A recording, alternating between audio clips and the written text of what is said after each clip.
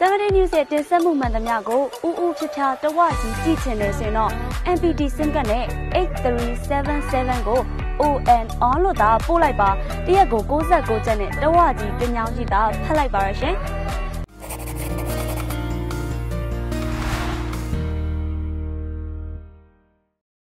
ထိုင်းဘရင်မဟာပဂျီရာလောင်ကုန်းဟာမြမတော်သေဝီတုံကိုခြေထောက်ကျိုးသွားစေတဲ့အထိရှန်လိုတိုက်ခိုက်ခဲ့တယ်ဆိုပြီးဆွဆွဲချက်တစ်ခုထွက်ပေါ်လာပါတယ်။ရတာသတင်းဌာနရဲ့ဘန်ကောက်မြို့ဌာနခွဲအကြီးအကဲဟောင်းအန်ဒရူးဟာဒီသတင်းကိုအခပေးသတင်းလွှာတစ်ခုလည်းဖြစ်တဲ့ Secret CM မှာထည့်သွင်းဖော်ပြခဲ့တာပါ။ ထိုင်းမရင်ဗဂျီရာလောင်ကုန်းဟာသဘောထားတင်းမာပြီးစိတ်အခြေအနေကြိုတင်ခံမှန်းရခက်ခဲသူတဦးအနေနဲ့လူသိများပါတယ်။မာရှယ်ကထိုင်းမရင်ရဲ့ဥပဒေတွေကြောင့်သူ့ရဲ့သတင်းပေးရဲ့နာမည်ကိုဖော်ပြလို့မရဘူးလို့လည်းဆိုပါတယ်။ထိုင်းမှာဘရင်နဲ့တော်ဝင်မိသားစုကိုတိတ်ခါချရင်နှစ်ရှည်ထောင်ဒဏ်ပြစ်ဒဏ်မျိုးချမှတ်ခံရနိုင်ပါတယ်။ဒီဖြစ်ရမှာဘရင်ကဒုတိယမြောက်မိဖုရားတစ်ပါးတင်မြောက်ဖို့စီစဉ်ခဲ့တာကိုမင်းသမီးကြီးတီရီတုံကကန့်ကွက်ရကအချင်းများကြတယ်လို့ဆိုပါတယ်။ တီရီထုံဟာထိုင်းဘီရင်မွေးထားတဲ့ခွေးရည်နဲ့ထိခိုက်မိပြီးလဲကျသွားရကခြေချင်းဝင်နှစ်ဖက်စလုံးကျိုးသွားတာဆိုပြီးနန်းတော်ရဲ့အတွင်းလူအချို့ကမာရှက်ကိုပြောပြခဲ့တာပါအချို့ကတော့ဘရင်ဟာတီရီထုံရဲ့ခြေထောက်ပေါ်ကိုတက်ခုံတာဒါမှမဟုတ်ကျိန်တုံးနဲ့ရိုက်ခဲ့တာတွေကိုပါပြုလုပ်ခဲ့လို့ယုံကြည်ရကြောင်း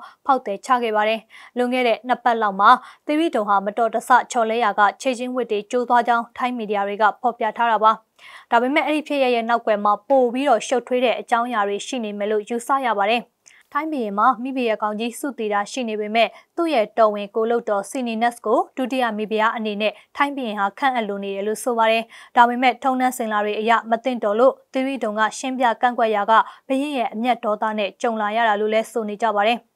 မာရှယ်ကသူ့ရဲ့သတင်းပေးတွေဟာနန်းတော်ရဲ့ပေါက်ရောက်မှုရှိပြီးယုံကြည်စိတ်ချရတဲ့အနေအထားမှာရှိတယ်ဆိုပြီးတော့လည်းအမခံထားပါတယ်။သီရိတုံဟာဘန်ကောက်ကကျူလာလောင်ကုန်းစေယုံမှာခြေချင်းဝင်နှစ်ဖက်လုံးခွဲစိတ်ကုသမှုခံယူခဲ့ရပြီးလာပေါင်းအတော်ကြာတဲ့အထိလမ်းပြန်ရှောင်နိုင်ပွဲမရှိသေးဘူးလို့လည်းသိရပါတယ်။ စီရီနဲ့တာတကယ်လို့မိဖုရားရတူရလာမယ်ဆိုသူနာပြုတ်နဲ့စစ်မှုရန်ဟောင်းအမျိုးသမီးရဲ့အံ့ဩစရာတကြောပြန်တက်လန်းမှုလို့လည်းဆိုနိုင်ပါတယ်အသက်36နှစ်အရွယ်အမျိုးသမီးဟာမိဖုရားကောင်ကြီးနဲ့ပြဿနာတက်ရကနေတော်ဝင်ကိုလုတ်တော်ယာရုကနေဖယ်ရှားခံရပြီးပြုပြင်ရေးစခန်းတစ်ခုစီမှာ10လလောက်ထိထိမ့်သိမ်းခြင်းခံခဲ့ရပါတယ်နောက်ပိုင်းမှာပဲထိုင်းပြည်ရင်ကစီနီနဲ့ကိုမူလအဆောင်အယောင်ယာတူတွေပြန်လည်ပေးအပ်ခဲ့တာလည်းဖြစ်ပါတယ်